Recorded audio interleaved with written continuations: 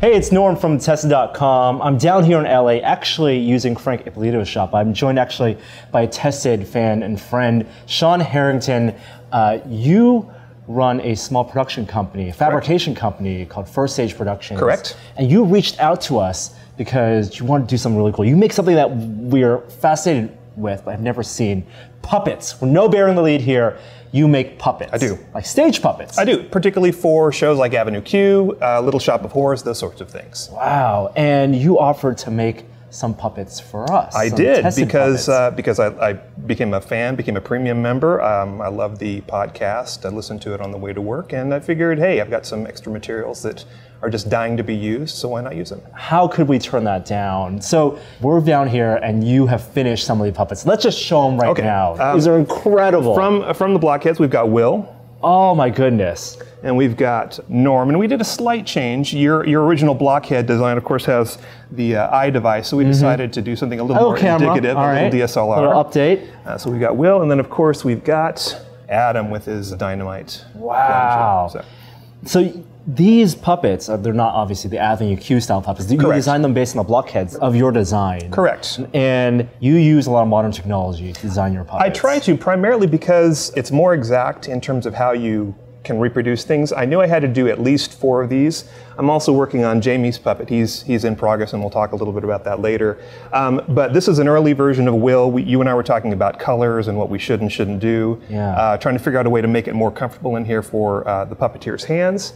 So using uh, particularly laser technology, I use a combination of SketchUp and Visio, and of course Illustrator, to create uh, line art that can be used on foam. on foam. So this is reticulated foam. Uh, a lot of puppeteers will call this Scott foam. Um, it's a half-inch reticulated foam that's about 25 to 30 pores per inch, and I just have a little stay tab in here. And so if we're going to take out the back panel, we just pop it out. As you're designing this, so I provided you with some reference files, and the designs that we have for the blockheads are basically what you see on our on the, on the site and on the shirt. It's Correct. a 2D image representing a fake 3D cube. Right. Um, so in SketchUp, you modeled uh, what you what the depth and what you you brought it into a 3D. Exactly. Um, the, the the people who designed it, I went and actually reskewed the isometric images to be traditional flat face. It looked like something out of Pepakura, in fact. And I knew that the material I was going to be using for the base was this half inch foam. So I actually have half inch walls around it. And I knew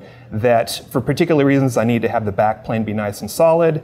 I knew I was going to have a, a tension wire in here so that it wouldn't rip. Did it all in SketchUp, posed them so that they would be about to scale. I had to make some modifications on the shirt here. Your, your hair doesn't go all the way to the back, but I knew I wanted the back panel to be all one color, so we modified it in a couple of places. And, um, and then put it all together. Yeah, right. So you have the walls, you have their basic, and you design in the puppetry where the hands would go, and and then there's some rigid material. Correct. Um, the, when you have a mouth plate, you don't want it flopping around, and you don't want a material that's going to wear down from sweat. So um, I use Coroplast for those because it's a plastic material. It's the stuff you would see guys on the corner flipping signs around advertising lightweight, apartments. It's great, really easy to cut on the laser cutter. You get a little bit of scorching, but um, it's it's pretty easy to use. But that's like a skeleton. That's a jaw. Exactly. That's the upper and lower plate. So the so the puppeteer has a nice place to put his hands in. Then on the outside, we use Antron fleece, which is an anti-pill fleece. And it, it doesn't wear over time. It doesn't. puff The nice part about this stuff is, is it it's called anti-pill because you can keep rubbing it forever. There's also a type of fleece called blizzard fleece that is flat. The problem is is it doesn't hide seams really well. With this Mm. stuff, you can pick it apart. I've got a tool that I made with a couple of straight pins that uh, does what's called picking the seam. Kinda you flock reflow it, Right. yeah. Um, and it's it's really forgiving. It's it's a great material. I actually designed this at full size and then scale it down to 98% because when you're stitching it together, you want the seams to pull together. So you, you you shrink it down and then you stitch it together so it kind of pulls it in nice and tight and it's got this fluffy feel to it. So let's look at version one because this Okay. is like the skeleton for a Right. head, where you have the foam. The inside has your corrugated plastic. You've lined it with some comfortable hand line. Right. Uh, you don't want the puppeteer's hand to be wearing against the foam because after about five minutes you'll have rash and it's just Right. no fun. Okay, so this is this is the skeleton. All four of the blockheads have something similar to this. Exactly. And at this point, you can puppeteer it. You can. And when you design a puppet, you want the puppeteer to have as few, as little fatigue as possible. So you actually design the puppets with the mouth open and you're pushing to close. You want the natural inclination of the puppet's mouth to be open. Um, so we went to that version, and then we did this one, and I found out that okay, well, I don't really need all this area, and this will give me a little more back strength, so they this isn't going to just fall off. So this is kind of the full version that we did of the puppet. What I noticed when I did the video of Will doing one of the 3D prints. Yes. Hey guys, it's Friday, which means it's time for another edition of Print the Mystery Object with the MakerBot. There's a point where I do the dance break and come in and out. Yeah. My hand was actually slipping out of the back of it. Oh. So I oh. said, well, how do I resolve that? Well, on a couple of other puppets that I've done, I'll take these little two inch stress balls. Mm-hmm, little foam balls. Exactly. Cut them in half and then put them in here so that the puppeteer's hands. A grip. Exactly. So they can puppet for hours and you actually move less when you have this. You can just do very, very simple type things. So.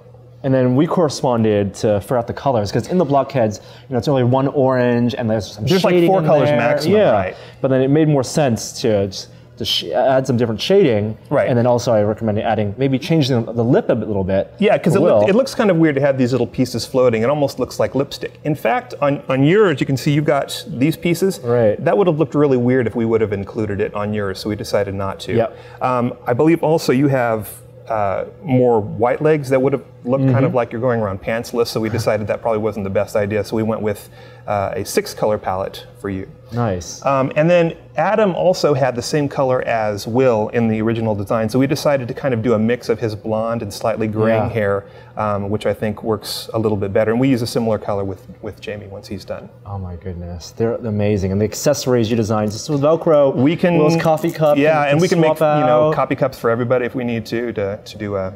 So, uh, in terms of puppeteering, Mm-hmm. what can you recommend for people who, like, if they buy a puppet, the actual act of puppeteering? What what are some good practices? Um, well, I'd say the first thing is, is get a puppet, any puppet. Um, I like Muppet style puppets, which a lot of people will call soft puppets. I like working in fleece and foam.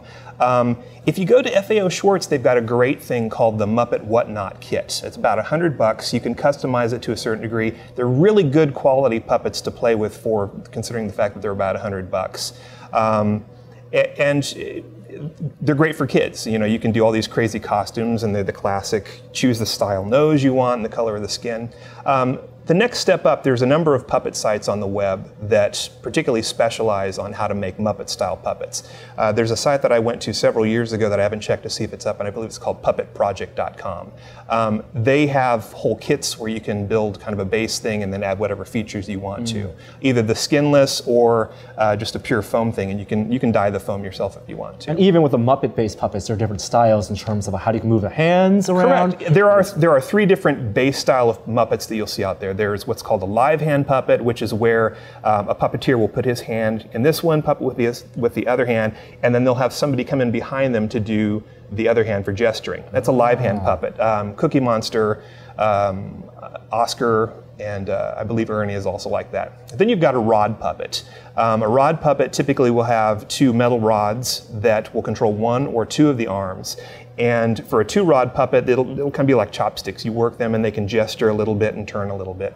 Uh, then you've got trigger puppets. Uh, that's more like Beaker, where you're really just kind of, the mouth isn't up where the hand is, you're actually moving it down there. The moving box puppets we did for Avenue Q were like that. Puppeteers would have two things and it just flops the mouth open. Got it. There's other styles, um, but that's basically the, the three different types of puppets that you'll see. Wow, it really is not only an engineering design, it's an art form Mm-hmm. Right. for the performance. And these are so amazing. Thank you so much, Sean. My pleasure. Not only for making these, but also for sharing your process. And we'll have all the files and images on our website. This is amazing. Thank you. So, Will, I'm Norm. That's Sean. Check out our YouTube channel in the link below. We'll see you guys next time.